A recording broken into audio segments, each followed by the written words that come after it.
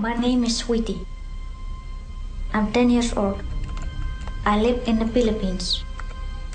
Every day, I have to sit in front of the webcam and talk to men. Sweetie looks, talks, and acts like a young girl, and on a grainy webcam from the other side of the world, she lures in paedophiles. On public chat rooms, adult webcam sites, social networking sites, other sites, predators from wealthy countries are paying to watch and direct children from least developed countries to perform live sex shows via webcam.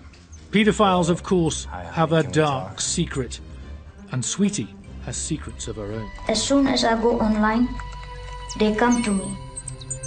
10, 100, every hour.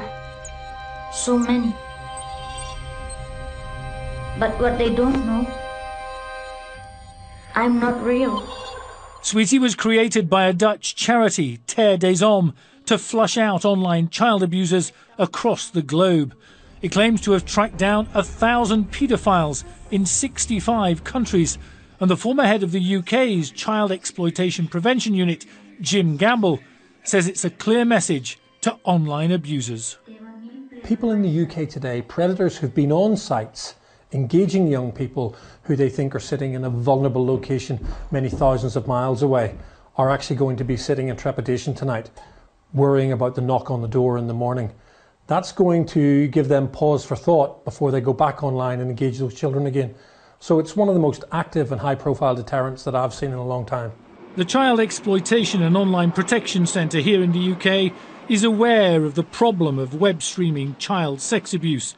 And earlier this year, a man from Kettering, Timothy Ford, was convicted of paying a Filipino family for online sex shows involving their young sons, one of whom was just six years old. Terre des has handed its findings over to Interpol, though some critics say that in going public before any arrests have been made may allow offenders to destroy the evidence of their online child abuse. David Bowden, Sky News.